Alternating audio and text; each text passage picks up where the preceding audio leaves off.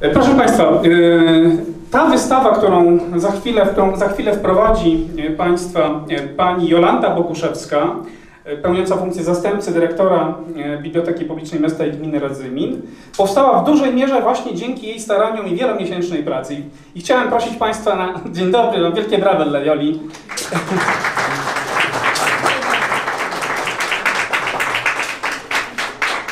Ale zanim przekażę mikrofon, poproszę panią Elżbietę Darkę w imieniu włodarzy Radzymina o zabranie głosu.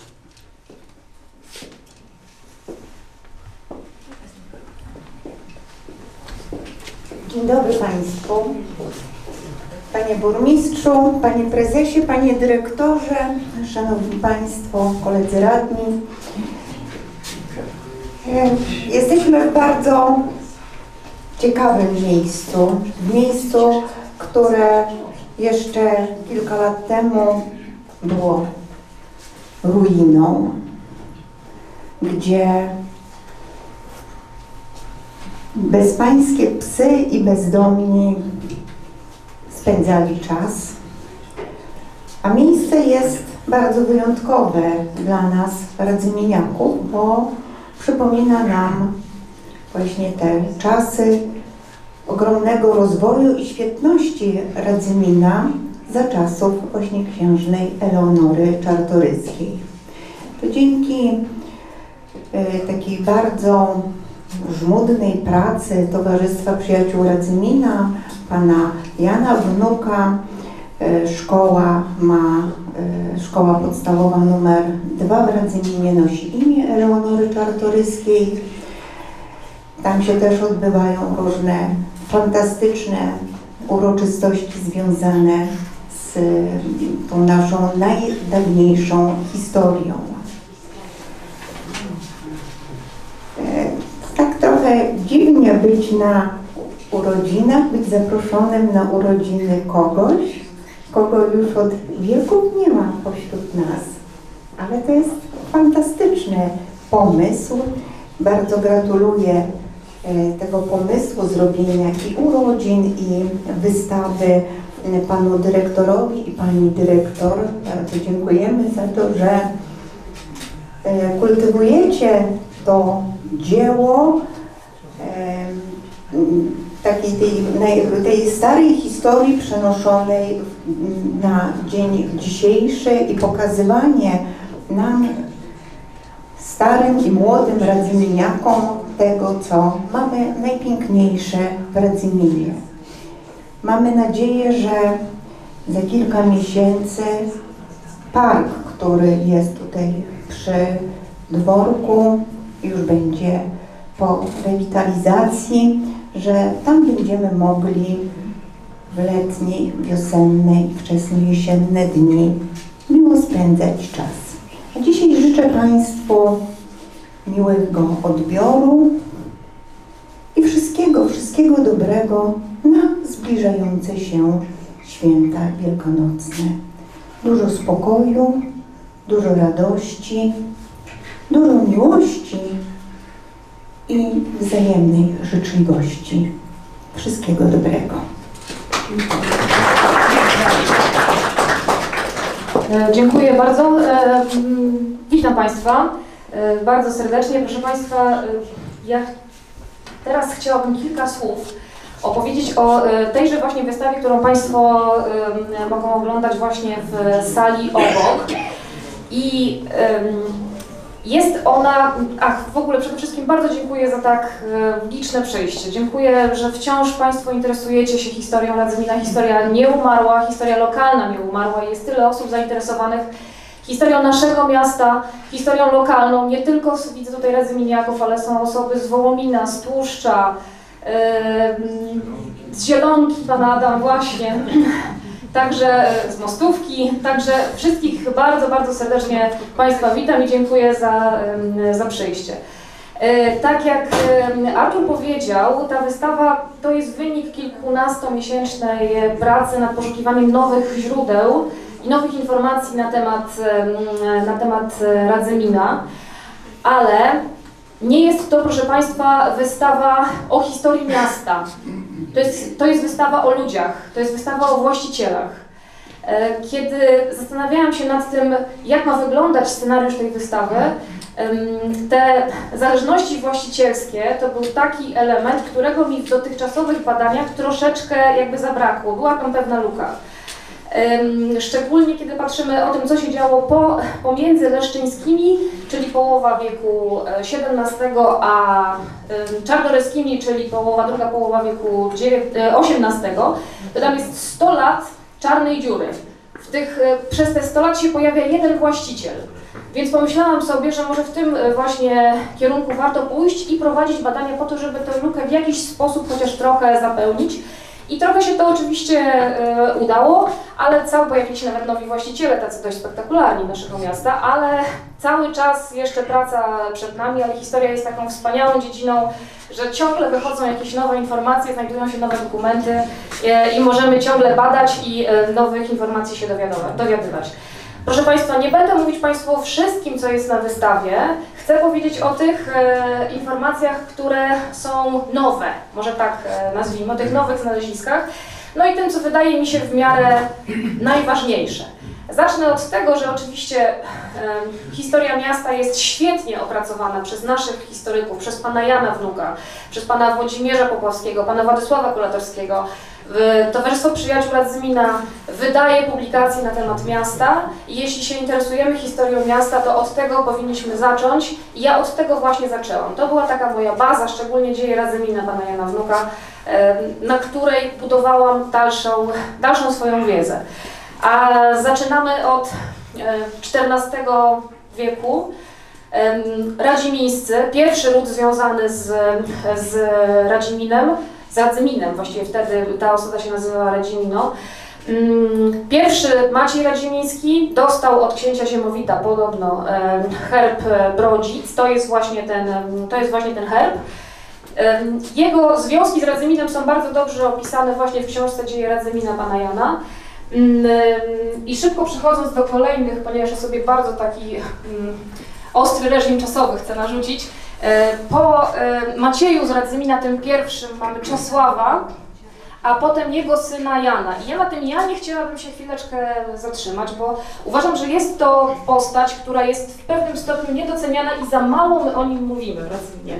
Oczywiście wszyscy doceniamy, szanujemy i jesteśmy wdzięczni matce naszego miasta, Eleanorze Czartoryskiej, która wprowadziła Radzymin w taką w miarę, w taką no, powiedzmy oświeceniową nowoczesność na, na miarę swoich czasów, ale ojcem miasta był bezapelacyjnie Jan z Radzimina.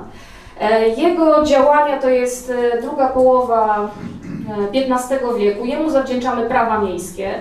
E, Załatwił właśnie prawa miejskie dla Radzymina. W związku z tym mm, pojawił się tutaj e, samorząd, burmistrz, pojawiły się, pojawił się sąd tygodniowy, pojawiła się w miarę uregulowana polityka e, podatkowa.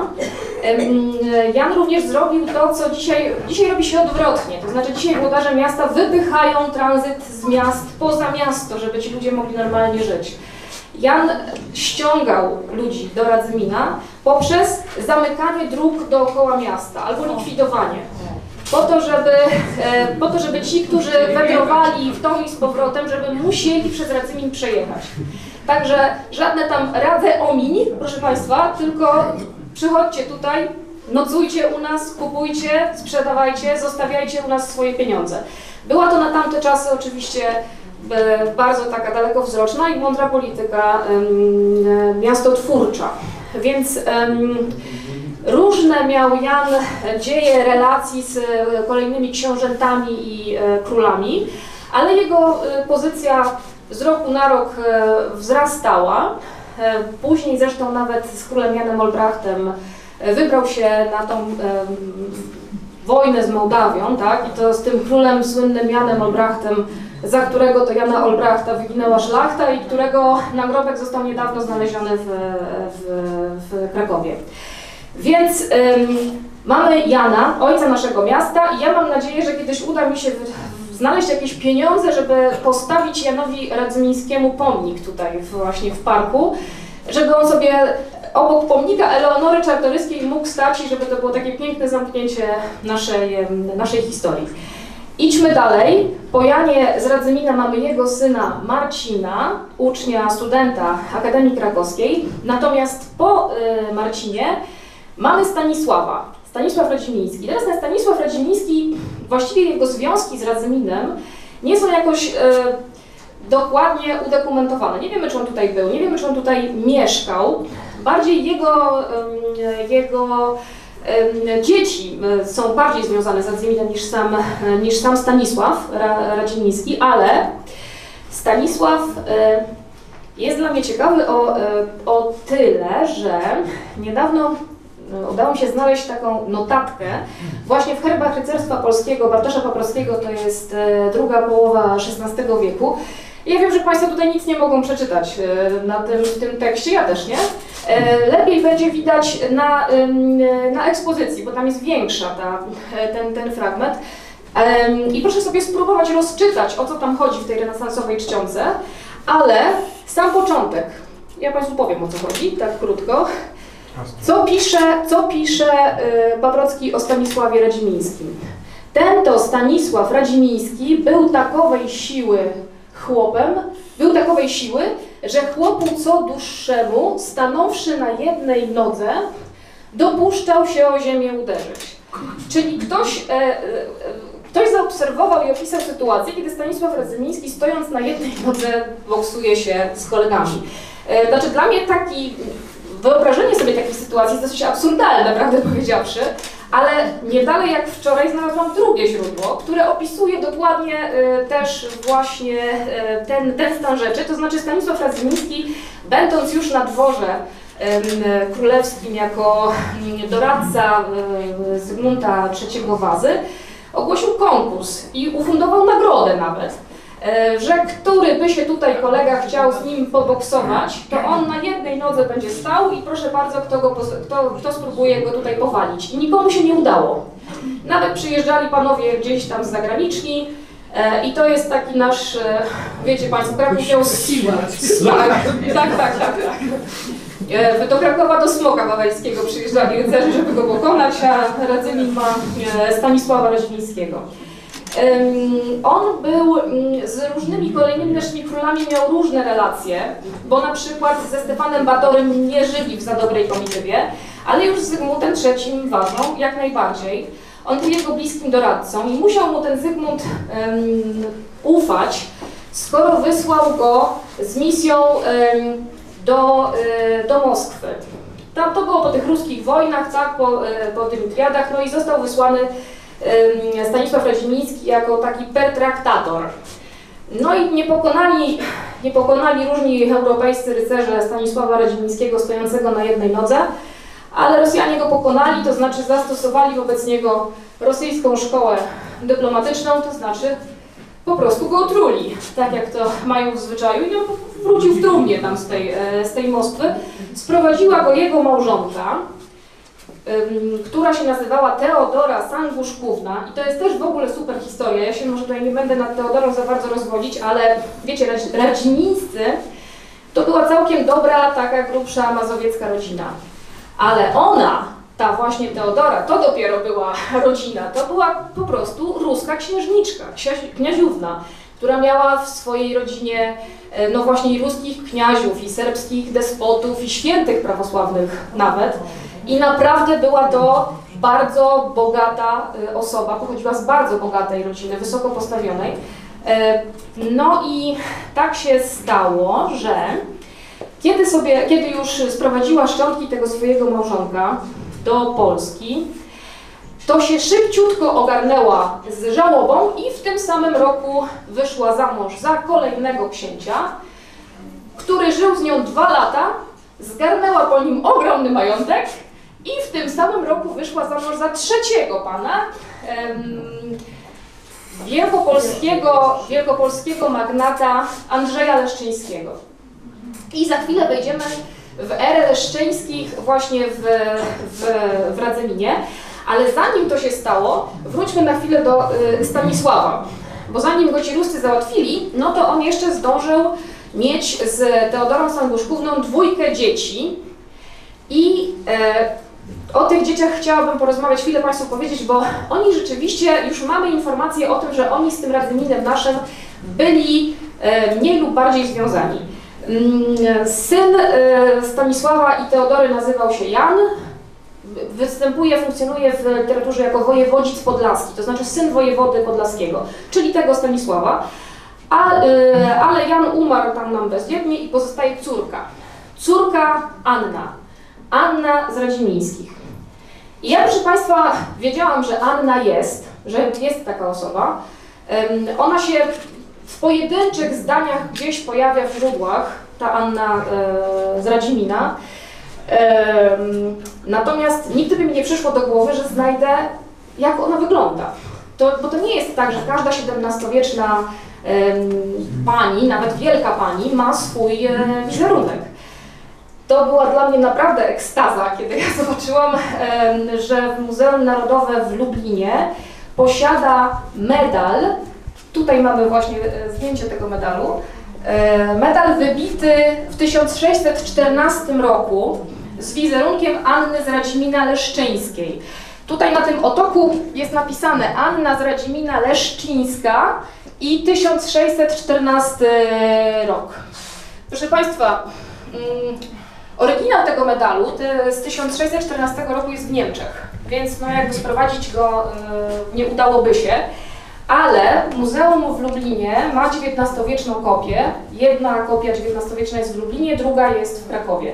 Więc na co dzień te dwie kopie są tam, ale dzisiaj ta kopia e, lubelska z Muzeum Lubelskiego jest u nas, tutaj w e, gablocie obok. I ja bardzo Państwa zachęcam, żebyście Państwo sobie popatrzyli na ten niewielki, malutki medal z tą Anną z Radzimina. To jest ostatnia właścicielka naszego miasta, właśnie z rodu e. My z tego medalu, y, znaczy zastanawialiśmy się właśnie z, z pustoszami z Lublina, co to jest za rok, ten 1614, jaki to jest okazja, bo to nie jest ani jej data śmierci, znaczy data urodzin e, jakaś okrągła, ani nie, nie urodziła dziecka wtedy. To jest 10 lat może po ślubie, ale nie sądzę, że tak e, hucznie obchodzili rocznicę ślubu w tamtych, w tamtych czasach. Także wszystko jeszcze przed nami, przede mną, ponieważ no, Anna jest jakąś bohaterką mojej wyobraźni. Ja bym się chciała nią jakoś tak szerzej i głębiej e, zająć, tą, tą, tą panią. Spójrzmy, jak ona wyglądała. To była naprawdę wielka pani. To była bardzo bogata osoba. Ona po tej matce, po tej Sanguszkównej odziedziczyła ogromny majątek. Naprawdę. I mi się wydawało, że kiedy Leszczyński się z nią ożenił, to że to była dla niej jakaś nobilitacja. Nic bardziej błędnego. Źródła mówią, że ta, ta, ta właśnie Radzymińska, Anna Radzymińska, że ona znacząco podreperowała pozycję swoim majątkiem, pozycję tych wielkich magnatów leszczyńskich z Wielkopolski. Także żadnej tutaj łachy nie robiła, że wyszła za mąż za tego Leszczyńskiego, tylko jeszcze on powinien jej dziękować. Zobaczmy, jak jest ubrana. To jest taka, no właśnie, piękna, renesansowa moda. E, Beret na głowie, włosy związane tutaj w siatkę, prawda? I ta przepiękna kryza e, przy, e, przy płaszczu. No i Anna, proszę Państwa, ma tutaj około 30 lat. No widać, że biedy nie ma, prawda? Natomiast jest, ona już jest po czwórce dzieci w tym momencie. Ale też, no tak jak mówię, była, ona była wielką panią i em, głodna nie chodziła. No ale mm, e, druga pamiątka po Annie Radzymińskiej, którą mamy też tutaj u nas, to jest autentycznie napisany przez nią jej własną ręką list do koleżanki Katarzyny Zamojskiej. E, Zdjęcie jego jest tutaj, a oryginał jest w gablocie. To jest list z 1626 roku. Proszę niech sobie Państwo tam w wolnej chwili po prezentacji e, naszej, po, po tym naszym gadaniu, zerkną tam w tę gablotę i spróbują rozczytać tą, tę czcionkę, która już jest dużo bardziej czytelna. To on jest bardzo ładnie napisany, ten, ten list. Nie wszystko można przeczytać, ale wiele można. O zwierzętach pisały do siebie, między innymi. To jest koniec roku, bo to jest z grudnia, życzyły tam sobie, życzyła, e, e, życzenia składała na nowy rok. No i, i tak to wyglądało. I jeszcze też proszę zobaczyć, jak ona się podpisywała, bo tu jest, tu jest jej podpis, e, o tu, tu jest jej podpis, dobrze go nie widać, ale na liście będzie dobrze widać. Jest to wypożyczka z Archiwum Głównego Akt e, Dawnych dla nas, dla Radzymina i to jest tylko na dziś. Już jutro ten list wraca do, e, do archiwum. E, Medalion jeszcze przez chwilę pobędzie tutaj, ale list jest tylko do dzisiaj, tylko dzisiaj do, e, do zobaczenia. No i 1626 rok, proszę Państwa. I jeszcze jedna rzecz, którą e, udało mi się znaleźć, jeśli chodzi o Annę Radzimińską, o Annę z Radzimina i jej takie powiązania właśnie z, Radzi, to znaczy to jest rok 1635, ona wtedy umarła, to jest rok jej śmierci. I była taka moda e, wówczas, że wydawano drukiem mowy pogrzebowe, które zostały na, na pogrzebach e, jakichś znaczniejszych osób wy, wypowiadane. I to jest coś w rodzaju takiej właśnie, takich zbioru, ale nie mów pogrzebowych, tylko wierszy na temat Anny z Radzimina. One są niestety wszystkie po łacinie. Więc kiedy ja e, czytam to, co tam jest w środku, niestety bardzo żałuję, że na lektoracie łaciny na studiach robiłam wszystko oprócz uczenia się łaciny, e, i, ale tylko, ale przynajmniej z tych pojedynczych przymiotników, które tam można znaleźć, Anna jest opisywana właśnie jako pobożna, mądra, em, dobra. No i mamy Annę de Radzimin, prawda, e, e, Komitis in Leszno, e, czyli no księżny, taką na, księżny na, na, na Lesznie. Em, Proszę Państwa, i co dalej? Więc mówiłam o tej Sanguszkównie, czyli matce Anny, prawda? Która była żoną Stanisława Radzymińskiego, który tam na jednej nodze boksował się z, z przeciwnikami którego Rusy załatwili. I ona, jak już też mówiłam, trzeci jej mąż to był Andrzej Leszczyński. To oczywiście była wielka miłość, ponieważ ona już była starszą panią e, i e, no ale ten majątek, który wnosiła był e, ważnym argumentem dla tego małżeństwa. No i by się ten majątek właśnie Sanguszkówny wymknął z rąk pana Leszczyńskiego, ale wpadł na szatański pomysł, to znaczy postanowił ożenić swojego syna z poprzedniego małżeństwa z córką tej Sanguszkówny, czyli z naszą Anną. Po prostu Anna wyszła za mąż za swojego przyrodniego brata, e, za Rafała Leszczyńskiego. Ten Rafał Leszczyński to był, znaczy w ogóle Leszczyńscy to były takie mocne głowy, bardzo otwarte e, na, na te renesansowe, humanistyczne prądy. Wspierali, wspierali e, protestantów, E, Jeździli po Europie w różnych takich podróżach e, mm, edukacyjnych. Taka była moda kiedyś, że właśnie chłopaki jeździli po różnych krajach, spędzali tam trochę czasu i tak tu się trochę czegoś nauczyli, tu się czegoś nauczyli. Władysław IV na przykład, nasz król, też pojechał w taką podróż, która trwała ponad rok. No i go Rembrandt namalował nawet w, w, w, w tym momencie. No i ten Rafał Leszczyński, czyli późniejszy mąż e, e, Anny z Rodzimina, też w taką podróż się swego czasu udał, był nawet uczniem Galileusza. Galileusz mu na pamiątkę dał swój globus nawet, który on przywiózł do Polski.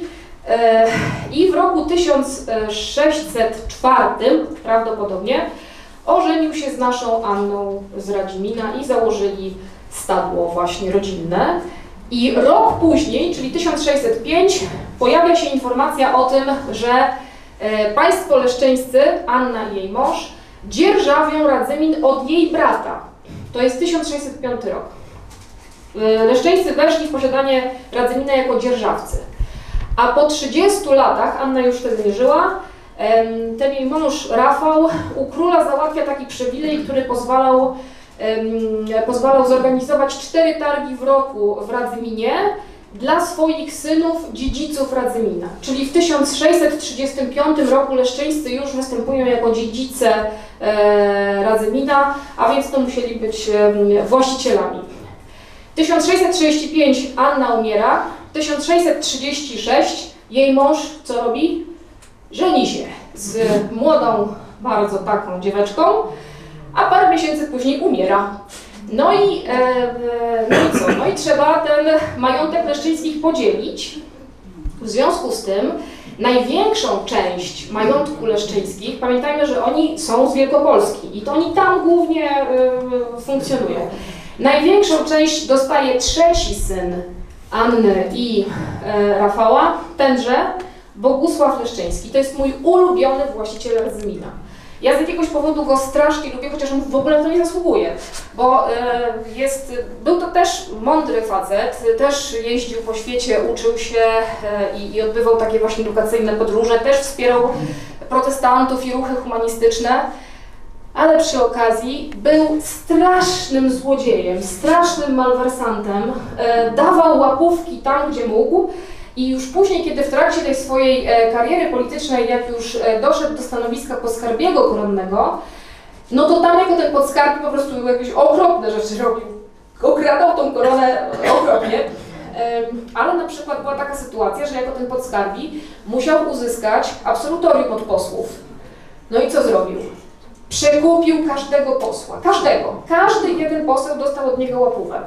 E, I później, kiedy było głosowanie, okazało się, że oczywiście wszyscy zagłosowali za, oprócz jednego.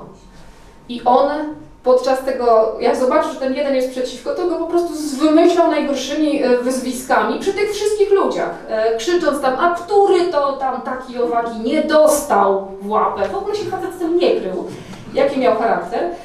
No ale kto bogatemu zabroni. Ale to już było w jego późniejszych latach, kiedy rzeczywiście osiągnął już te wszystkie mm, wysokie stanowiska. Natomiast właśnie ten rok 36, kiedy umarł ojciec, i, y, czyli Rafał Leszczyński, czyli mąż Anny, on szybko wraca, bo akurat jest wtedy w tej podróży takiej edukacyjnej po Europie, szybko wraca do domu, no bo się przecież majątek dzieli wtedy, więc musi dopilnować swoich interesów. I tak jak powiedziałam, on uzyskuje ten główny majątek Leszczyńskich, czyli Leszno, dostaje właśnie nasz Bogusław i Radzymin po matce. On dostaje też Radzymin. A w kolejnym roku, 1637, jako młody poseł z Wielkopolski wchodzi do e, parlamentu i od razu dostaje boksa. Od razu. E, biskup e, Stanisław Ubieński em, zarzuca mu, że łamie mazowieckie prawo. A w jaki sposób on to mazowieckie prawo łamie? Zbudował w Radzyminie zbór kalwiński. I to jest dla mnie niezwykła informacja, bo ja wiedziałam, że zbór kalwiński był, znaczy kościół ewangelicki był w Radzyminie w XIX wieku i w XX wieku, ale okazuje się, że był już w wieku XVII również, zbudowany właśnie przez Bogusława Leszczyńskiego. No i tutaj się oczywiście pojawia masa pytań, tak? Dla kogo on ten e, zbudował? Czy tutaj byli jacyś protestanci? Może byli, bo w innych mazowieckich miastach byli bracia polscy Arianie, no byli. Ale czy byli w Radzyminie? E, Czy może przywiózł e, jakichś protestantów jako osadników tutaj do Radzymina? Gdzie ten zbór w ogóle był? Także mm, no to wszystko jeszcze przed nami, bo to jest taka wspaniała nauka, ta historia, że można cały czas ją rozwijać. Em, oczywiście po kilku latach Bogusław zdaje sobie sprawę z tego, że jako protestant to on za wiele tutaj nie zwojuje w tej Rzeczpospolitej. No i przeszedł na katolicyzm. Rozum zwyciężył, już się nikt e, go nie czepiał właśnie, że, że był protestantem i jako katolik już sobie później działał. E, I nawet wspomagał tutaj Radzymiński kościół, zbudował ołtarz świętej Anny, być może na, na pamiątkę swojej matki, tak? bo też, e, też była Anną. I to by było tyle, jeśli chodzi o Leszczyńskich w Radzyminie. Ostatnia informacja, którą, którą udało się jakoś tam złapać w związku z Leszczyńskimi w Radzyminie, to jest, są lata 50. XVII wieku, kiedy rodzi się tu właśnie w Radzyminie syn Bogusława. Też Bogusław. E, On zrobił karierę duchownego, był nawet sekretarzem króla Jana III Sobieskiego. Jeśli chodzi o, Radzymi, o, o Leszczyńskich w Radzyminie, to to by było tyle. E, Tutaj jeszcze tylko chciałam Państwu pokazać fragment takiego tekstu literackiego z roku 1645. To się nazywa Pałac Leszczyńskich pod wjazd Bogusława Leszczyńskiego. I o co chodzi z tym Pałacem Leszczyńskich?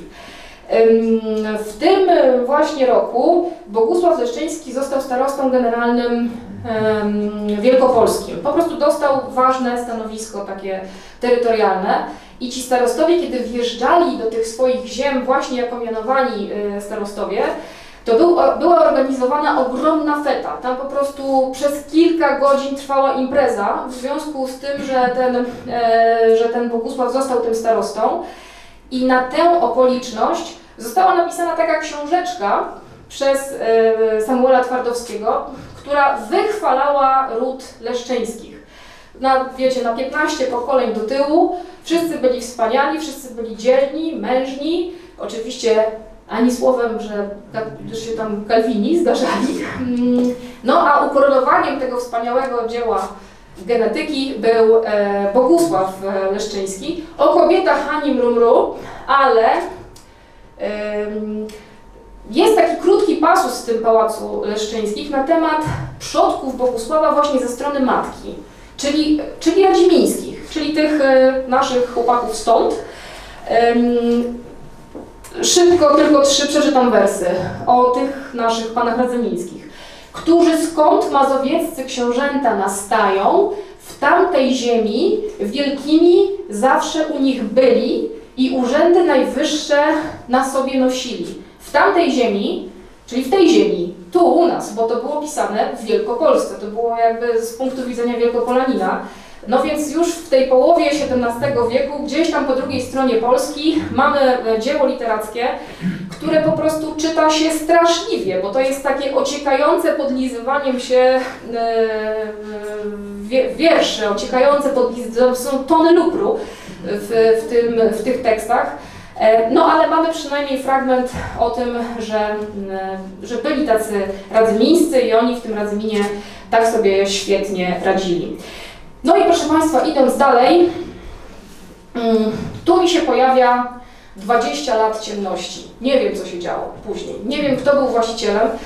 Miałam taką nadzieję, że być może po tych Leszczyńskich, po tym właśnie Bogusławie, jednym z właścicieli będzie król Stanisław Leszczyński, bo król Stanisław Leszczyński to jest prawnuk naszej Anny właśnie z Radzimina, tej, tej z, z, tego, z tego medalu.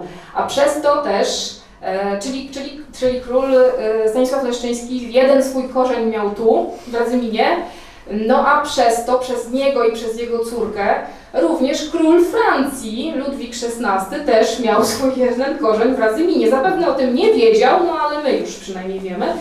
No i, e, no i w latach 70. pojawia się kolejny właściciel Radzymina i to już chyba taki dość spektakularny, ja o tym nie wiedziałam. Muszę powiedzieć, że e, kiedy złapałam tego człowieka, to była dla mnie ekscytacja równa z, znalezieniem Anny z Radzimina, a jest nim nie mniej, nie więcej, tylko ten pan, to znaczy Jan Andrzej Morsztyn. Ten Jan Andrzej Morsztyn, którego wierszami byliśmy chłostani w średniej szkole. Em, proszę Państwa, znalazłam tego mm, jakby mm, pierwszy dokument, który, który znalazłam i który łączył Morsztyna z Radzyminem, to jest, to jest ten dokument. Morsztyn oprócz tego, że był dworskim poetą, był również no takim dworakiem po prostu. Tam się do, dopracowywał kolejnych coraz wyższych stanowisk. Zresztą był też e, podskarbim koronnym, tak jak poprzednik jego e, Bogusław Leszczyński i równie chwacko kradł, tak jak i, tak jak i Bogusław. Mm, Ale w pewnym momencie doszedł do wniosku, że Rzeczpospolita to za mało dla niego, więc wszedł w kooperację z Francuzami i po prostu stał się francuskim szpiegiem. Działał na rzecz Francji tutaj u nas właśnie w Polsce. Oczywiście zdawał sobie sprawę z tego, myślę, że może skończyć jak większość szpiegów, to znaczy może by go nie zabili, ale mogliby go wsadzić do więzienia na przykład, nie? Więc postanowił sobie y, organizować życie we Francji, po to, żeby miał gdzie uciekać, w razie jakby coś. W związku z tym kupił zamek we Francji, kupił posiadłość, ale myślę, że nie chciał być w tej Francji uciekinierem z Polski. On chciał być na równi ze szlachtą francuską. Dlatego u króla Ludwika XIV wyprosił, wypracował sobie taki przywilej dla siebie, który go zrównywał w prawach ze szlachtą francuską. I to jest właśnie fragment tego, y, tego dokumentu. On jest bardzo długi i tam nie będziemy go oczywiście tłumaczyć, natomiast dla nas jest ważny ten kawałek. André de Morstin, Conti de Morstin, A, D, czyli Radzymin. Tutaj się on pojawia mm, jako, y, jako hrabia jako właściciel Radzymina. To jest rok 1678. Czyli już tyle wiemy, wiemy, że już w tym roku on na pewno coś miał wspólnego Morsztyn z Radzyminem. A druga rzecz, którą znalazłam, to jest ten, to jest ten miedzioryt z podobizną Morsztyna. I tutaj jego, y, zrobił ten miedzioryt Jan Edenling, to musiało być przed 1781 rokiem, bo wtedy Edenling umarł. E, I tutaj jest podpis, gdzie również mamy y, Jana Andrzeja Morsztyna z Radzimina. Z Radzimina, tu jest ten Radzimin, starostę Tucholskiego i tak dalej, i tak dalej. Więc e, to jest druga rzecz, która by nam łączyła Morsztyna z Radzyminem. I trzecia, ostatnia rzecz, ym, 1679 rok, Ziemiańska a ekonomika generalna. Autorem jest e, Jakub Kazimierz Haur i on był ekono, ekonomem. On prowadził bogatym ludziom e, majątki. I w tym roku, w tymże roku właśnie 1679 prowadził majątek Morsztynowi. Ponieważ dobrze się znał na tym prowadzeniu majątków, to napisał podręcznik na ten temat. I właśnie w tym podręczniku na pierwszej stronie on dedykuje ten, e, ten, ten swój podręcznik Janowi Andrzejowi z Raciborska na Radzyminie Morsztynowi. Więc e, czy Morsztyn kiedykolwiek był w Radzyminie, to śmiem wątpić. Myślę, że nie. Natomiast Haur bardzo możliwe, że był, no bo on ogarniał cały jego majątek Morsztyna, więc e, być może tutaj się pojawił. Morsztyn dobrze przewidział, co się stanie. Oczywiście musiał zwiewać z Polski. Uciekał, e, uciekł do Francji, przy okazji zabrał insygnia królewskie, także, ale potem je odesłał, to przynajmniej tyle dobrze. Mm, No i tam już osiadł do końca życia. Tam pozostał. I to, co mamy tutaj, to jest obraz, który mm, obecnie jest w Muzeum, w Muzeum Sztuk Pięknych w Szerburgu w, e, we Francji. Jest to Jan Andrzej Morsztyn ze swoją córką Izabelą. E, I ja muszę powiedzieć, że to jest takie muzeum, z którym mi się znakomicie współpracowało. Bez żadnych problemów e, udostępnili wszystkie zgody, bez żadnego płacenia, bez żadnych tłumaczeń. E, Przysłali materiały na temat tego obrazu, po polsku te materiały przysłali nawet. W przeciwieństwie do innych polskich muzeów, z którymi trzeba było walczyć, żeby się zgodzili na udostępnienie zdjęcia obrazu na, na, na wystawie. I chcieli pieniądze jeszcze za to. Oczywiście nic nie dostali. I w tym momencie, proszę Państwa, przechodzimy do ostatniej rodziny, o której ja dzisiaj powiem, to znaczy rodzina Bielińskich. I tutaj się zaczyna trochę problem dla mnie, bo jest to gmatwanina nazwisk, imion i różnych zależności właścicielskich. Ja się to postaram krótko i tak zrozumiale dla Państwa zrobić. Mam nadzieję, że Państwo podążycie za, za, za tym moim, za, za, tym, za, tym, za tą moją opowieścią. Proszę Państwa, Morsztyn ma dwie córki. Jedna to była Izabela, która była na tamtym poprzednim portrecie, a to jest jego druga córka Ludwika z Morsztynów, Bielińska, będę o niej mówiła, Morsztynówna, żebyśmy ją łatwiej e, zlokalizowali w tym całym drzewie. No więc ta pani Ludwika z Morsztynów, Bielińska, dziedziczy Radzymin po swoim ojcu Morsztynie dziedziczy ten Radzymin, wychodzi za mąż za Kazimierza Bielińskiego. W naszej dotychczasowej, e, w publikacjach dotychczasowych o historii Radzymina pojawia się nazwisko Bieliński, ale Franciszek. To nie ten Bieliński, to nie jest ten. E, Franciszek Bieliński był marszałkiem.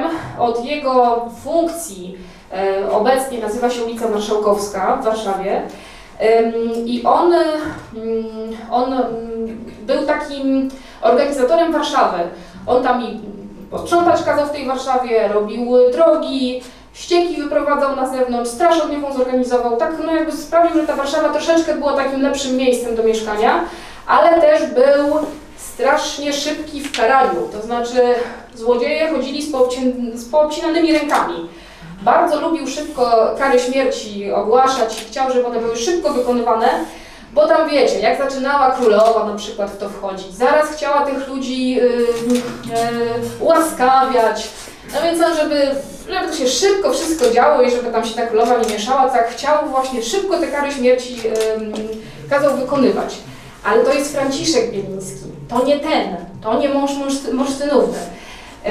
Oni się pobrali w latach 80. mm, XVII wieku, a 10 lat później, w latach 90. XVII wieku, Radzymic został puszczony jako zastaw pod pożyczkę przez tych właśnie państwa e, bielińskich. Na to mamy dokumenty, nawet mamy skany u nas w bibliotece, gdyby z Państwa ktoś był zainteresowany. Puścili ten Radzymin Markowi Matczyńskiemu. On był wojewodą kijowskim i za 100 tysięcy ten e, pożyczył im 100 tysięcy pod zastaw właśnie Radzymina. I nawet ta informacja pojawia się w mm, jego, w jego testamencie. W, to jest fragment tego testamentu mówiący właśnie o, o tym, że u Bielińskich ma 100 tysięcy na Radzyminie i gdyby umarł, a oni tych pieniędzy by nie oddali, to y, mogą odzy- odzyskać Radzymin, jak te 100 tysięcy przeznaczą na armię polską, na, na wojsko. Więc bardzo się tutaj facet zachowywał patriotycznie, w przeciwieństwie do Morsztyna. Ten y, testament jest pisany strasznym językiem, bo tam jest po prostu słowo polskie, łacińskie, polskie, łacińskie, tak jak to wtedy było. E, tak jak wtedy no, tych, tych e, latynizmów było e, masa w tekstach. Czyli takową wtedy resztę łączę do sumy 90 tysięcy ud, eficat, eficjat 100 tysięcy, którą mam jure obligatorio na Radzyminie zapisaną, et in possessionem też dobra, meam juridice i tak dalej, i tak dalej. To jest po polsku, proszę Państwa. E, więc e, mm, e, Bielińscy odzyskali ten Radzymin na początku XVIII wieku. No i tu się zaczyna po prostu, w tym momencie zaczyna się dramat. Dlatego, że oni mieli ósemkę dzieci. Ci e, właśnie państwo Morsztynówna i Bieliński. I połowa z nich miała coś wspólnego z Radzyminem. Połowa. Więc zaczynamy. Spróbuję to krótko i treściwie zrobić. Proszę Państwa, pierwszy, e, pierwszy syn Morsztynówny, który jest e, łączony z Radzyminem, to jest właśnie ten Franciszek Bieliński, o którym mówiłam, że te ręce tak lubił obcinać i, i wydawać karę śmierci, ale jednocześnie uporządkował Warszawę. To jest ten pan, e, tutaj na tym, na tym obrazie, ale nie ma żadnych dokumentów, które by tak naprawdę ten Radzymin łączyły z e, Franciszkiem, co nie oznacza, że ich, e, że ich nie ma. My ich po prostu, ja ich jeszcze nie znalazłam. Natomiast to, co jest, to, co jest pewne, to jest fakt, że w tych czasach ludzie strasznie lubili te długie tytulatury. Tak, hrabia mm, Zakopanego i e, Krakowa i innych tam em, miejscowości. I Bieliński tak samo robił, to znaczy on się podpisywał Franciszek, marszałek Franciszek Bieliński, hrabia na Radzyminie, Bielinie, Otwocku, Karczewie i Parysewie. E, I e, ten Radzymin się właśnie w tej jego tytulaturze pojawia, więc no, na jakiejś podstawie to zrobił, że się, że się tym hrabią na Radzyminie ym, tytułował. Ale pojawiają się nam dwie kolejne osoby. I tutaj, proszę Państwa, mój ogromny ukłon w stronę pana Włodzimierza Popławskiego, bo to od niego mam te informacje. Pan Włodzimierz Popławski jest autorem mm, niewydanej jeszcze monografii parafii e, radzymińskiej. E, I to on mi udostępnił materiały, o których Państwu za chwilę powiem. Otóż, Panie Włodzimierzu, bardzo dziękuję. Otóż było tak, że e, kurie wysyłały raz, kurie biskupie wysyłały raz na kilka lat takich e, jakby wizytatorów do każdej parafii. I taki wizytator robił protokół i w tym protokole spisywał wszystko.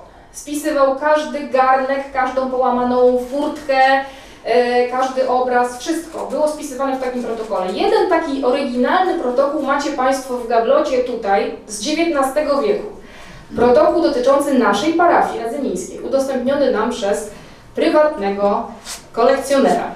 I em, protokół z roku 1725 jako właścicieli Radzymina e, oznacza najwielmożniejszych i najwspanialszych Czermińskich, czyli Urszulę Czermińską i jej męża. A Urszula Czermińska, ta pani, to jest siostra Franciszka, czyli córka Morsztynówny, czyli wnuczka Morsztyna. Ona tak wspaniale żyła ze swoim mężem Czermińskim, tak jej dawał czadu, że jak wreszcie umarł, to od razu poszła do zakonu. I dlatego tutaj jest w e, habicie. A więc rok 1725 Inwentarz biskupi mówi, że jest Radzymin w posiadaniu czermińskich.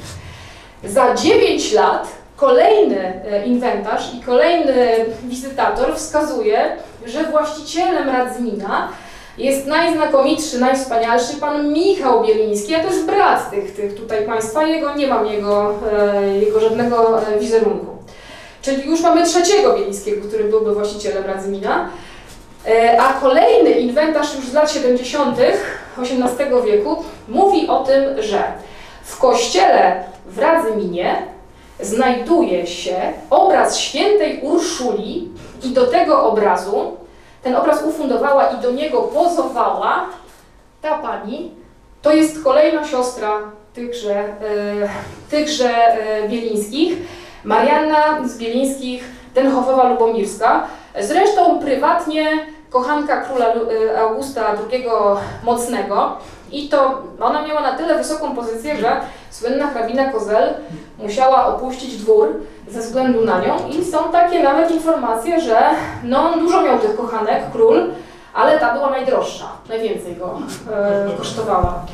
W każdym razie na mm, wystawie, na tablicach będą Państwo mieli cytat z tego właśnie z tego inwentarza, gdzie taką piękną staropolszczyzną, już bez tej łaciny, jest napisane, że e, właśnie jest taki obraz e, świętej Urszuli w parafii radzymińskiej, ale, ja już to nowopolszczyzną powiem, no pozowała do niego właśnie pani Marianna, ale jest tak wydekoltowana na tym obrazie, ta święta Urszula, że to się absolutnie nie nadaje, żeby powiesić to w kościele. I albo trzeba ten obraz wyrzucić, albo trzeba go poprawić. Więc ja, ja jestem bardzo ciekawa, czy tam się gdzieś w kazomatach kościoła nie przewala ta święta Urszula wydekortowana, bo chciałabym zobaczyć, jak, jak ten obraz mógł wyglądać. No i ostatnia informacja związana właśnie z tą rodziną, proszę Państwa, herbarz Łonieckiego i Rejskiego, to już jest wiek XIX, wskazuje, że córka tej pani sprzedała Radzymin w 1747 roku komu? Czartoryskim. Tak, naszym Czartoryskim. To byłby rok, czyli od Morsztyna przez jego córkę Morsztynównę, przez któreś z ich dzieci do e, jeszcze kolejnego niżej poziomu e, Marianna Jordanowa, córka tej pani, miałaby sprzedać Radzymin właśnie Czartoryskim. A żeby jeszcze bardziej zagmatwać, to yy, proszę Państwa, no właśnie to jest Morsztyn, to jest Morsztynówna, która tych Bielińskich tam porodziła, ale to jest ta jego druga córka Izabela, która była matką tych naszych czartoryskich, czyli Michała i teściową Eleonory. E, a więc Radzymin najpierw należał do potomków jednej Morsztynówny, drogą dziedziczenia, a potem drogą kupna przeszedł na potomków drugiej Morsztynówny, Izabeli. Ale o Izabeli, proszę Państwa, i o innych czartoryskich opowiedzą nasi goście. Pani Zofia Wojtkowska, autorka książki Saga Rodu, e, Saga Rodu Czartoryskich, z którą porozmawia Piotr Szymon e, Łoś. Bardzo Państwu dziękuję. E, ja...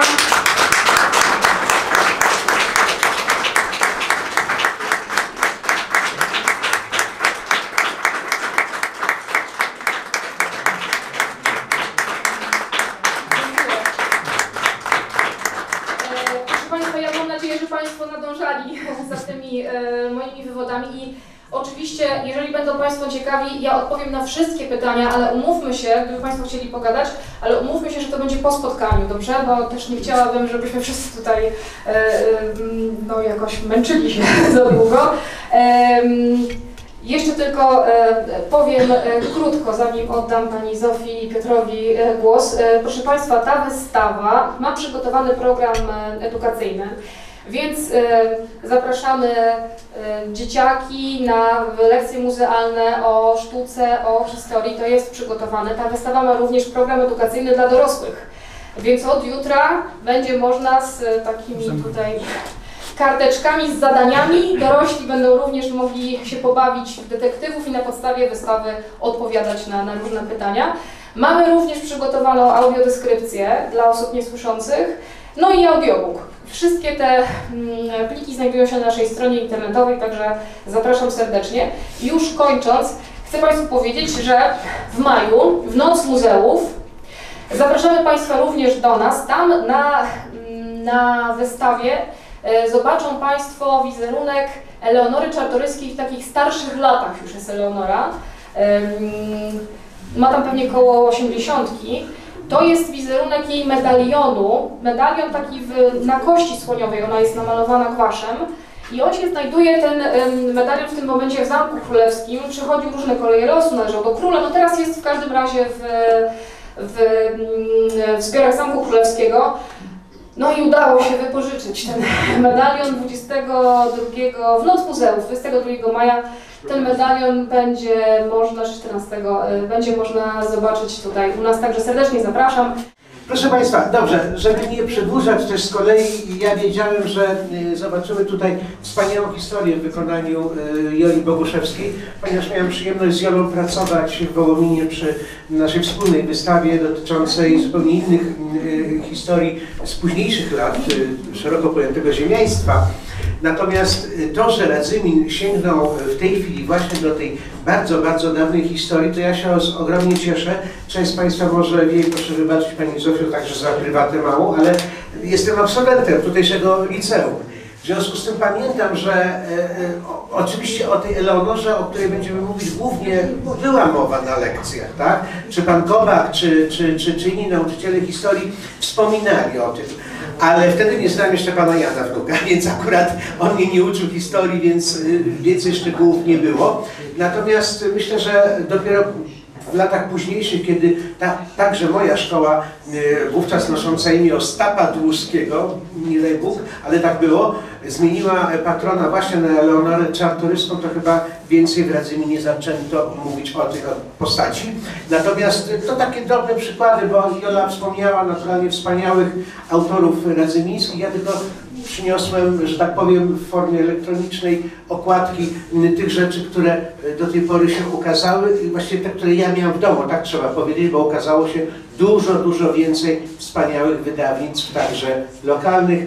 To jest takie wydawnictwo nawiązujące do naszej dzisiejszej historii, bo to jest rzecz o córce Eleonory, czyli o księżnie Aleksandrze Ogińskiej z Siedlec, autorstwa pani Danuty Michalec z Muzeum Regionalnego w Siedlcach.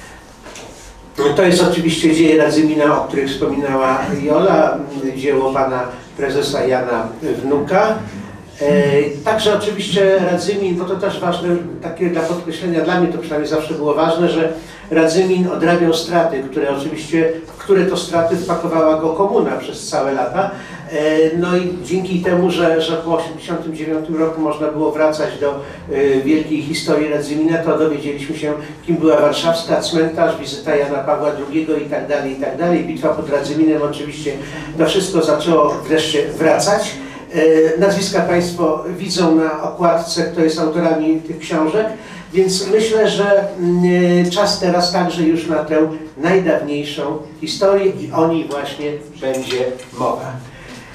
Pozwoliłem sobie Pani Zofio przygotować już jakiś czas temu taki wykres, który Joli przesłałem dawno. E, oczywiście na podstawie naszych ulubionych e, źródeł, czyli zarówno książek, jak i Marka Minakowskiego i po prostu najprościej, żeby wyjaśnić, gdzie i jak usadowić rodzinnie tęże Eleonorę z Walsztajnów Czartoryską. Muszę Państwu powiedzieć, że największą dla mnie zagadką byli sami Walsztajnowie. Myślę, że mm, pewnie nie, nie, nie, nie damy rady też opowiedzieć, bo to rodzina mieszkająca w Czechach, też mająca przeróżne ciekawe powiązania, ale dzięki temu, że genealog y, znajomy przez internet właśnie udostępnił mi taką stronę, jak się okazało w internecie, tylko ja wcześniej nie znalazłem o Walsztajnach, w związku z tym możemy coś więcej także powiedzieć o rodzicach czy przodkach Eleonory z tytułu Walsztajnów. Ale ponieważ moja rola, proszę Państwa, jest pytającego, nie mówiącego, wobec powyższego e, wróćmy na chwilę do tej postaci, o której Jola wspomniała, czyli Izabela z Morsztynów Czartoryska, Kazimierzowa. Pani Zofio, ja myślę, że ta osoba jest o tyle ważna, także dla Radzymina i, dla Eleonory, e, i dla wszystkim Michała Fryderyka, że to jest ta postać, która dała rozpęd czartoryskim. Czartoryskim, o których Pani pisze w swojej sadze rodu Czartoryski. Gdyby Państwo nie znali, to ja tę książkę tu mam, tu jest też, e, stoi mm, do kupienia oczywiście e, pewnie przez internet najmłodszej. Izabela z Olsztynów. Tak, na, na pewno to jest taka osoba, która y, dla tej rodziny i y, również dla naszej Eleonory jest y, strasznie ważna, bo to była kobieta pokazana na takim pięknym portrecie y, y, Jacenta Rigo tutaj wcześniej, córka Morsztyna, jedna z dwóch. Pamiętają Państwo, jedna poszła za tego, potem tutaj byli ci właściciele właśnie Jacymina. E, Natomiast ta e, nasza Izabela, e, Izabela z Mosztynów Czartoryska poszła za bardzo mało interesującego e, mężczyznę e, średnio bogatego, e, czartoryskiego, e, bardzo nie wyglądającego, bo garbatego i w ogóle mało bardzo interesującego jako człowiek również. Ale ona się zdecydowała na to dlatego, że chciała wrócić do Polski, bo ojciec był wygnańcem, ona chciała wrócić do Polski, miał pełne ambicje polityczne. I ona była właściwie pierwszą taką pierwszoligową polityczką rodziny czartoryskich. Mówię to celowo i używam tych feminitywów celowo zupełnie, ponieważ w rodzinie czartoryskich rzeczywiście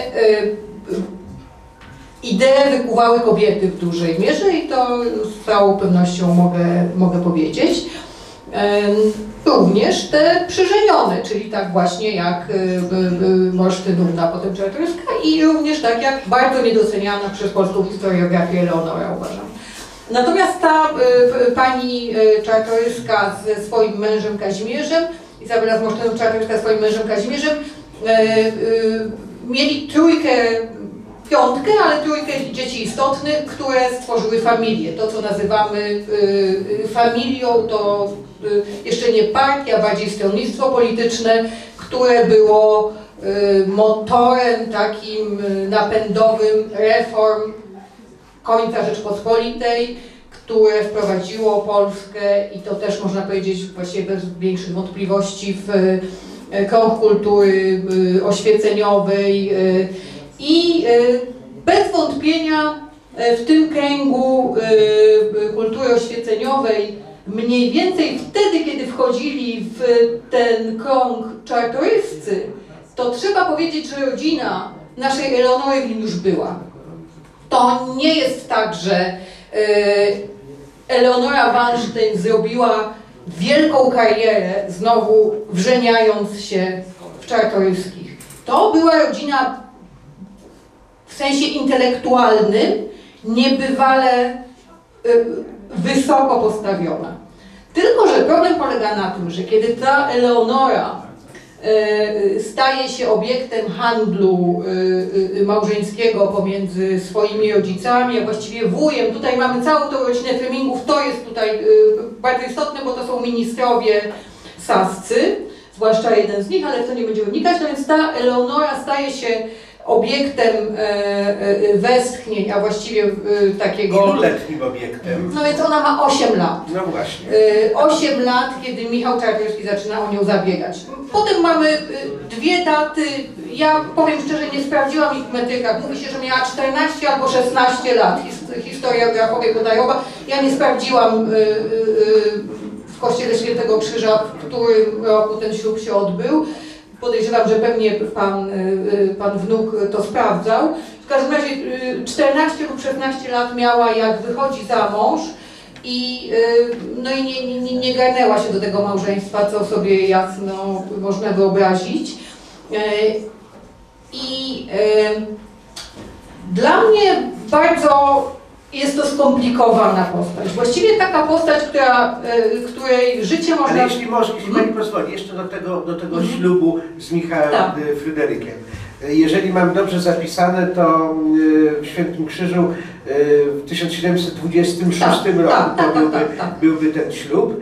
Y, Ile miała w takim razie podczas ślubu? 14 lub 16. lub 16. Mhm. Dobrze. I teraz w takim razie y, spotkałem taką informację, ale dalej nie wiem nic. Mianowicie, że Michał Fryderyk miał pewne komplikacje związane z tym małżeństwem. Czy wiemy o co może chodzić? Znaczy są y, dwie rzeczy podawane. Po pierwsze, no, że najpierw ona była za młoda on, i on nie odpuszczał. To znaczy on rzeczywiście się starał, jeśli zaczął jak ona miała 8, a skończył jak ona miała, na zakładamy 14, ten ślub się odbył, no to jak na to, jest długo, tak? To jest rzeczywiście długo, więc y, y, on się zaciął. Właściwie nie bardzo wiemy, czy on się zaciął, czy bardziej jego matka, która właśnie tę politykę małżeństw w rodzinie czartoryskiej zaczyna bardzo, y, bardzo konsekwentnie realizować i buduje potęgę tej rodziny dzięki polityce małżeństw. A po drugie, no ona podobno chciała do klasztoru, ale znowu, my mówimy podobno chciała do klasztoru. Z, zachowała bardzo gorliwą wiarę do końca y, dni swoich, bardzo y, była y, osobą głęboko praktykującą.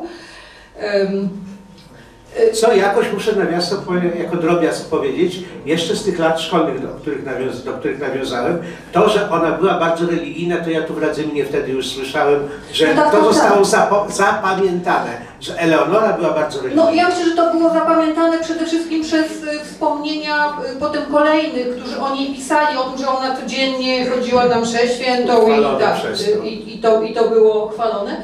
Natomiast y, ja mówię, p- pisząc historię tych kobiet i tych dziewcząt, y, trzeba pamiętać o jednym, tak? To były dzieci. W rodzinie czartoryskich, nawet na tamte czasy, kiedy dziewczęta wcześniej były wydawane za mąż, y, to czartoryscy na wzór Habsburgów, trochę zapatrzeni w nich, y, rzeczywiście stawiali przed ołtarz dzieci. I mówiąc o tym, że ona nie chciała, że ona miała jakieś tam kłopoty, które potem moim zdaniem niebywale wpływają na jej dalsze życie, żeby nie było wątpliwości, to ona mając lat 8 wie, że ktoś chce się z nią żenić i e, mając lat 14 lub 16 staje przed ołtarzem. To, to nawet wtedy nie jest e, standard. E, jest w rodzinie Habsburgów, czasem w rodzinach koronowanych, ale nie wśród przez nie wśród polskiej magnaterii, a u Czartoryskich staje się to absolutnie kluczowe i rzeczywiście właśnie ta, I jaki wpływ na nią jaki ma wpływ taki, że ona przez pierwsze lata swojego e, dorosłego życia jest dzieckiem i ona, ona zaczyna właściwie wychodzić z pleców swojego męża, e, kiedy jest babką. Tak? Najpierw babką staje się wtedy, kiedy normalne kobiety stają się y, matkami bardzo często. Więc to wszystko dzieje się strasznie szybko. Ona rodzi czwórkę dzieci, czego rodzi trzy córki i jednego syna, który umiera y, wcześniej. Natomiast y, ona dwie dorosłe córki chowa, tak, grzebie, bo one umierają, zanim skończy 40 lat. No to to są w ogóle historie Nieprawdopodobne z nie- naszego niepojęte punktu z widzenia naszego punktu widzenia, ale nie, nawet właściwie z pu- punktu widzenia ich, to też jest y, y, i i- y, jej współczesnych, to było coś zupełnie nieprawdopodobnego, do tego stopnia nieprawdopodobnego, że ta właśnie Izabela Morsztynówna, y, Czartoryska, y, była krytykowana niebywale za, ten, e, e, za, za to małżeństwo i ona w listach na przykład tłumaczyła się z tego. Tłumaczyła się z tego, że y, ta, y, ta Walsztynówna to ona jest y, bardzo dojrzała, a w ogóle Michał to kocha pasjami tą swoją żonę i to w ogóle wszystko to, co ludzie mówią na temat, że to jest takie właśnie małżeństwo z rozsądku, to wszystko nieprawda, tak? I że to w ogóle szalenie udane małżeństwo. Szczerze mówiąc, ja no, nie pisałam monografii Eleonory, natomiast y, y, dopowiedzenie późniejsze o tym szczęśliwym małżeństwie według mnie na, na, po tym, co czytałam o niej, co czytałam o Michale, no nie bardzo ma coś wspólnego z rzeczywistością. Znaczy, były to zupełnie dwa oddzielne życia, które nie miały ze sobą nic wspólnego. Ona i jej mąż, y, y, potem jeszcze kiedy jej te córki, bo, ona miała dwie córki, które potem właśnie poumierały y, y, y, już jako dorosłe osoby, Raz, dwa, trzy, cztery i pięciu synów. Których O dwóch nie znamy imion w ogóle. Tak, tak, tak. E, A, a reszta wszystko, ja wyobrażam sobie, że to musiało być dla matki, a także dla Tak. ojca, czyli dla Michała Fryderyka jakimś strasznym bólem, Znaczy, że ci chłopcy tak wcześnie. Niestety było, tam jeden umarł już tak w, w sensie, że poszł trochę i inni umierali, w, w, rozumiem, że, że nie dożywszy pierwszego roku. No to niestety było bolesnym standardem tamtych czasów, więc tutaj jakby ona nie odbiegała od innych kobiet. No pechem jej było, że y, umierali jej y, synowie, aczkolwiek potem również wielkim pechem jej było, że umierały jej dorosłe córki, no bo to już nie było tak, y, tak y, y, często spotykane. Zastanawia mnie teraz jeszcze taka rzecz. Skoro rzeczywiście małżeństwo Michała Fryderyka z Eleonorą, Eleonorą Wallsteinówną było też częścią układanki No bezsprzecznie było. bezsprzecznie częścią układanki czartoryskich, to czy później ta jej rola, no właśnie, y, w znaczeniu układanki rodzinnej, czy może jak już była osobą dorosłą, bo zostawmy ten okres dziecięcy i, i bardzo młodzieńczy, tylko jak już była potem osobą dorosłą, to czy ona w jakikolwiek sposób angażowała się w jakieś sprawy y, działalności familii?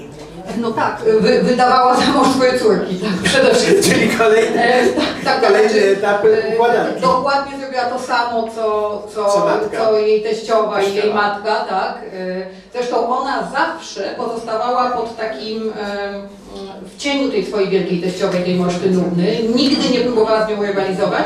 Również nigdy nie próbowała rywalizować ze swoją e, szwagierką, e, wielką Zofią Sieniawską Dęchową. I sobie po prostu tam po, po bokach e, Rzeczpospolitej budowała rezydencję. Wspaniałe, tym, się pasjonowała, uwielbiała to. E, I dopiero właściwie rolę polityczną zaczyna odgrywać, jak jej mąż już umiera, tak? I, I wtedy ona rzeczywiście w tych schyłkowych czasach, jako osoba już bardzo leciwa, w schyłkowych czasach już e, Rzeczpospolitej jest bardzo, bardzo aktywna, ale na własną rękę. Ona wtedy już nie działa specjalnie na rzecz familii. Natomiast tak okrutnie, jak została potraktowana jako ta młoda dziewczyna yy, i, właśnie pożeniona, nie ma żadnych wątpliwości, robi to samo ze swoimi córkami. Yy, jedną córką starszą, yy, Antoniną, którą wydaje za tego tutaj Jerzego Detlofa Fleminga, który jest yy, jej bliskim kuzynem. Tam nawet musiała być do tego yy, yy, Dyspensa. no, dyspensa papieska, tak. Y, I kiedy ta, y, ta Antonina, jej córka umiera, no to potem wydaje swoją następną córkę za tego samego Detlofa, żeby go przytrzymać przy tej rodzinie. No i y, to rzeczywiście dość, dość okrutnie. I to, co jest dla nas tutaj jakby dosyć ważne i myślę, że ciekawe, to ta Antonina rodzi też Córkę nie jedno, kolejną. tak, ona rodzi też y, y, tych dzieci y, więcej, ale tylko jedna przeżywa. Izabela Flemingżanka tylko przebywa, y, przeżywa y, i y, to będzie ta wielka łaska Izabela, o czym Państwo z pewnością wiedzą. Za chwileczkę pewnie o niej powiemy. Ja jeszcze się na W każdym kwestię... razie żeni tę Antoninę i potem żeni Konstancję z tym samym. Natomiast Aleksandrę y, w takim wielkim, familijnym ślubie wydaje za zapiechę. To jest taki ten ślub podwójny, bo tam również jedna z poniatowskich, to jest taki moment triumfu historycznego Czartoryskich, gdzie y, no, nikt nie ma wątpliwości, czy to jest pierwsza, czy druga może rodzina Rzeczpospolitej, ale na pewno pierwsza w koronie. Y, I y, więc uprawia ona tak, uprawia ona taki handel, natomiast polityką jako polityką para się już dużo, dużo później.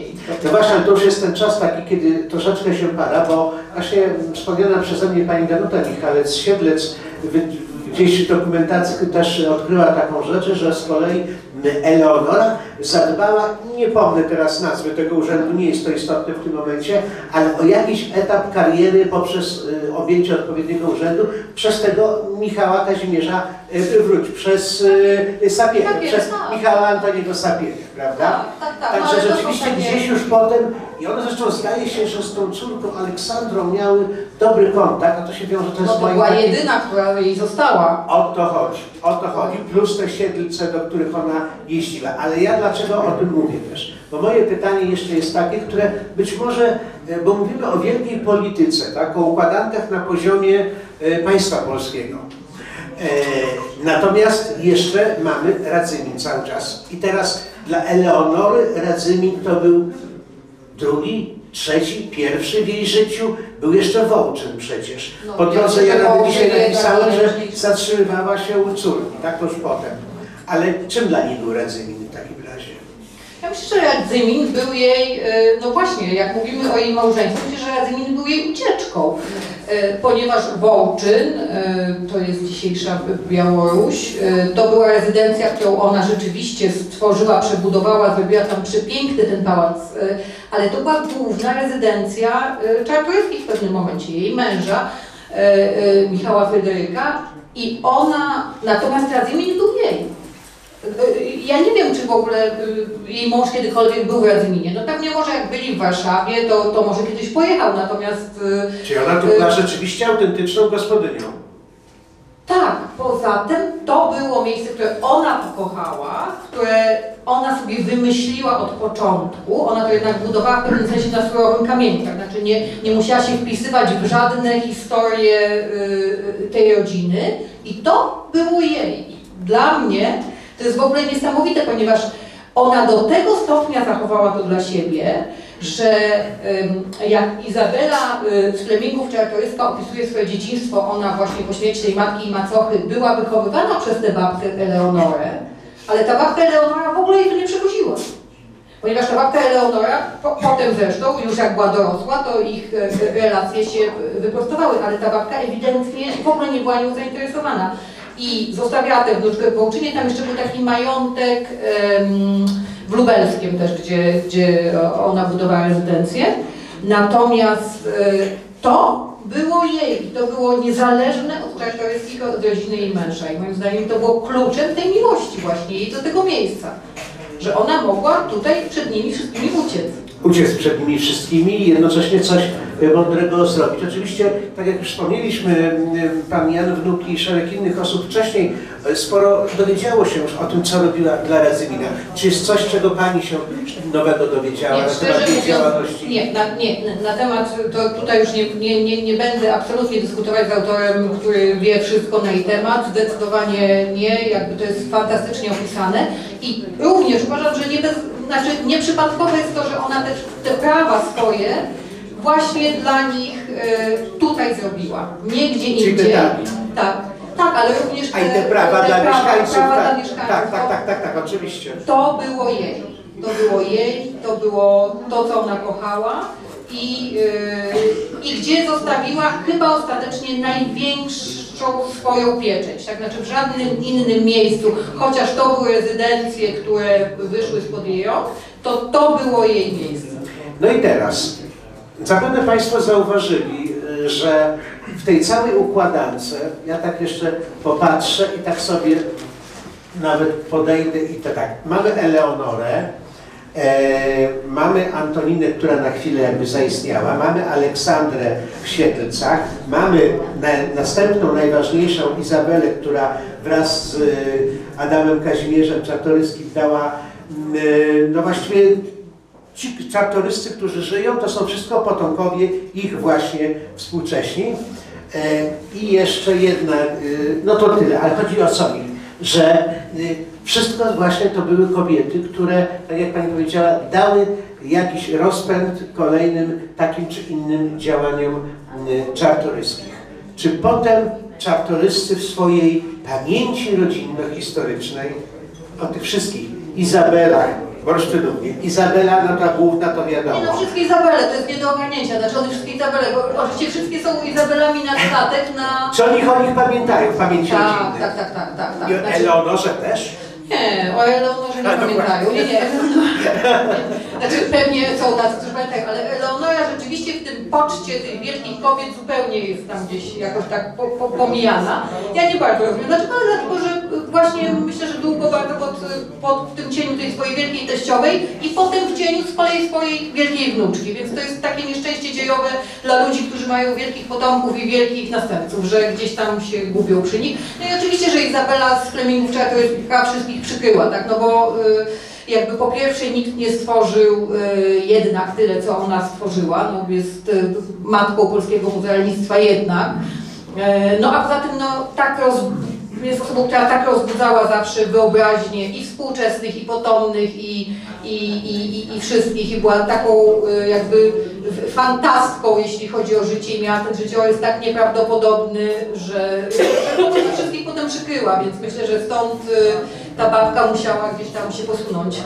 E, Czy mm, dałoby się jakąś cechę charakteru e, pokazać Izabeli z Puław, która być może pochodzi od Eleonory? w życiu. Znaczy myślę, że dokładnie właśnie na odwrót. Jeśli możemy pokazywać w życiu Izabeli różne rzeczy, to będziemy pokazywać te, które są budowane znowu w kontrze. Tak? Znaczy te kobiety naprawdę tworzyły się w kontrze. To były wielkie osobowości i one nie powtarzały, y, nie powtarzały cech, y, cech swoich matek i babek y, z wyjątkiem siły charakteru i uporu to, to w, rzeczywiście robiły większość rzeczy. Potem to szło dalej. W wieku XVIII-XIX do XX robiły w kontrze. Więc Izabela z Flemingów y, generalnie życie swoje w kontrze y, przeżyła. Choć była bardzo y, taką wesołą, radosną osobą, ale, ale w kontrze w dużej mierze.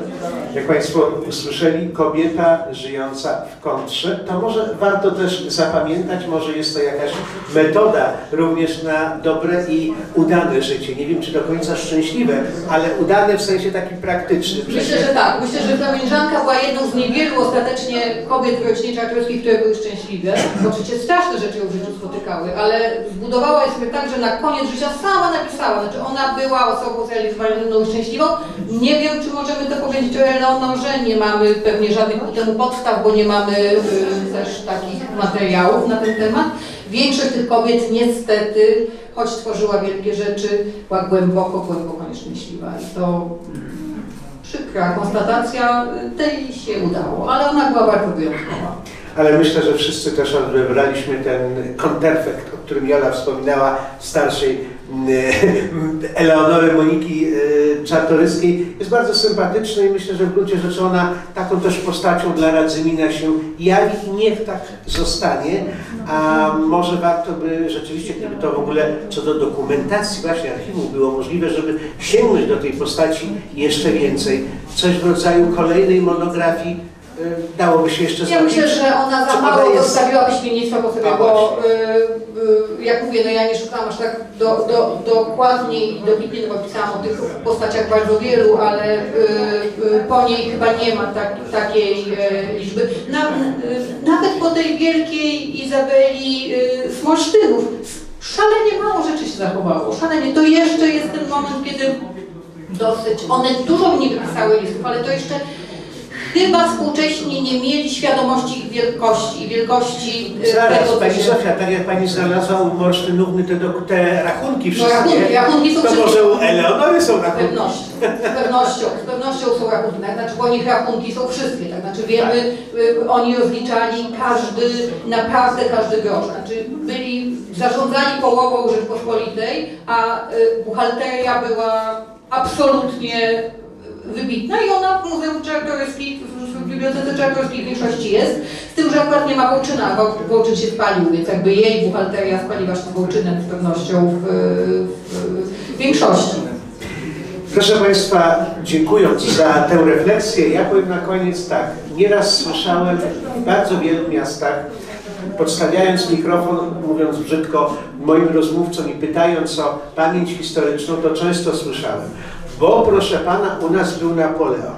Bo wie Pan, u nas to był król Stanisław August i to wielokrotnie przyjeżdżał do kuzynki, wujelki. O, tu był.